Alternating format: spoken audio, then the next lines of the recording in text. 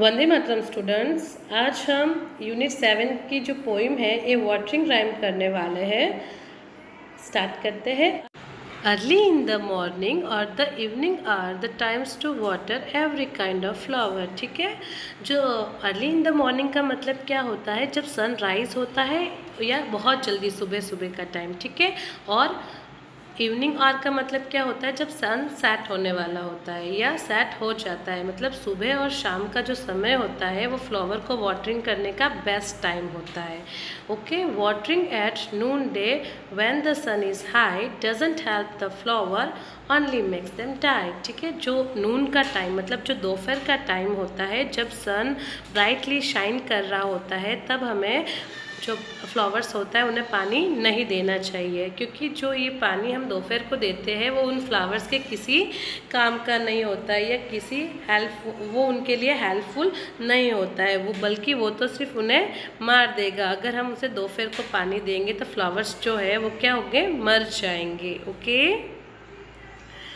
Also when you water water at roots और जब भी तुम पानी दो तो पानी हमें कहाँ देना चाहिए? रूट्स में देना चाहिए। मतलब जो फ्लावर की जड़ होती है, वहाँ पर देना चाहिए। Flower keep their mouth where we should wear our boots okay flower के मुँह कहाँ पे होते हैं? जहाँ पे हम अपने शूज़ पहनते हैं या बूट्स पहनते हैं। हम अपने बूट्स कहाँ पहनते हैं? पैरों में पहनते हैं। तो वो उनकी जो, उनका माउथ कहाँ होता है? उनके पैरों में होता है। Soak the earth around them then through all the heat the flowers will have water for their thirsty root ठीक है? जब हम ज़मीन पर पानी देते हैं तो ज़मीन की जो गर्मी होती है, वो कहाँ चली जाती है? उड़ जाती है।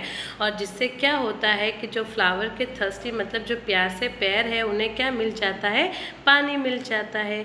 ओके इस तरीके से ये हमारी राइम जो होती है कंप्लीट होती है। Okay come to the new words and question answer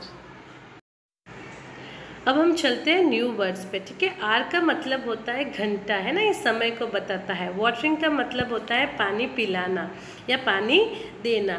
Noon day का मतलब होता है आफ्टरनून ठीक है? दोपहर। बूट्स का मतलब होता है शूज़ है ना? जो हम पहनते हैं ना, जूते। शॉक का मतलब होता है भिगोना और हीट का मतलब होता है गर्मी ओके अब हम क्वेश्चन आंसर पे आते हैं। What is the best time to water the plants plants को वाटर देने के टू बेस्ट टाइम्स होते हैं। कौन कौन से होते हैं? Early in the morning and evening hours okay तो चलो हम इसका आंसर कैसे लिखेंगे? Answer early in the morning and evening are the best time to water the plants okay when should we not water the plants हमें plants को पानी कब नहीं देना चाहिए?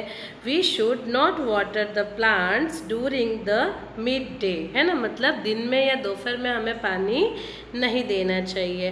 Which which part of the plant should be watered कौन से भाग में हमें पानी देना चाहिए? The root of the plant should be watered जो रूट होती है, वहाँ पे हमें पानी देना चाहिए। Okay okay? यहाँ पर आपको क्या करना है? Place the letters in their right order to from the name of the flowers ठीक है? यहाँ पर आपको जो लेटर्स है ना वो आगे पीछे दिए हुए हैं। ठीक है? आपको दिखाई दे रहे हैं? इसका मतलब कुछ होता है? नहीं होता है। ठीक है? तो आपको इसे क्या करना है? करेक्ट ऑर्डर में अरेंज करके एक फ्लावर का नाम बताना है। ओके okay, जो फ़र्स्ट फ्लावर का फ्लावर है वो क्या बन जाएगा? Sweet pea okay S W double E T sweet लिख के और फिर है ना पी की स्पेलिंग लिख लेनी है ओके स्वीट पी यहाँ पर ए लिखा हुआ है, फिर भी मैंने यहाँ पर लिख दिया है, कोई बात नहीं, ठीक है? मैरी गोल्ड सेकेंड फ्लावर क्या बन जाएगा? Marigold jasmine lotus mogra okay इस तरीके से आपको करना रहेगा। वैसे मैं आपको एक वर्कशीट सेंड करूँगी, उसके अकॉर्डिंग आप कर लेना ओके थैंक यू